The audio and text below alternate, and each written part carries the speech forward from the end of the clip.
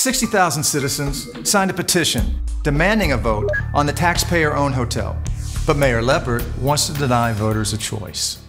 So this idea that everybody votes for everything sounds great back in New England in the 1700s, but I'm not sure it's applicable here. Putting Dallas taxpayers on the hook for a half billion dollar hotel is wrong. But denying voters a choice, that's arrogant. Vote for lower taxes and safer streets, not hotel suites. Vote yes on Prop 1.